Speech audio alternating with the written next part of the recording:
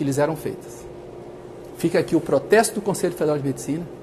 Comunico nesse momento aqui que encaminharemos um ofício ao senador Rodrigo Pacheco, presidente do Congresso Nacional, presidente do Senado Federal, no sentido de que alguma coisa seja feita contra aquele ambiente tóxico, contra aquele ambiente que se estabeleceu na Comissão Parlamentar de Inquérito. O Conselho Federal de Medicina tem sido citado por inúmeras vezes de que vai ser convocado para estar presente. Fica aqui um apelo público para que essa convocação seja feita o mais rápido possível, porque nós gostaríamos de ser a voz dos médicos brasileiros dentro daquela CPI, para que nós possamos colocar de uma forma muito clara para os senhores senadores qual é a posição dos médicos brasileiros em relação à Covid. Porque o que nós vemos são deputados, são senadores da República, são jornalistas, são procuradores, todos falam hoje sobre tratamento, sobre lockdown, sobre a doença Covid.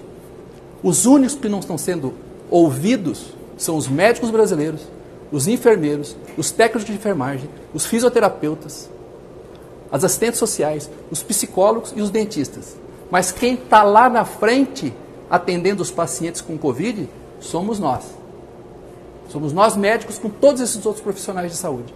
E nós não temos tido voz para podermos falar aquilo que nós pensamos sobre tudo isso que está sendo colocado na Comissão Parlamentar de Inquérito, quando a maior instituição médica do Brasil, o Conselho Federal de Medicina, declara aqui publicamente, como já fiz inúmeras vezes em entrevistas, que nós não temos certeza sobre nada sobre a, em relação a essa doença desconhecida. E temos todas as dúvidas do mundo. Esse é o ponto. Então, médico e médica brasileira, fica aqui o repúdio do Conselho Federal de Medicina às atitudes que se estabeleceram dentro daquela CPI, aquele ambiente extremamente tóxico, aquele ambiente que não tem absolutamente nada de democrático. Absolutamente nada de democrático. E, particularmente, a atitude do médico e senador Otto Alencar ontem nas agressões que fez à médica Nise Yamaguchi.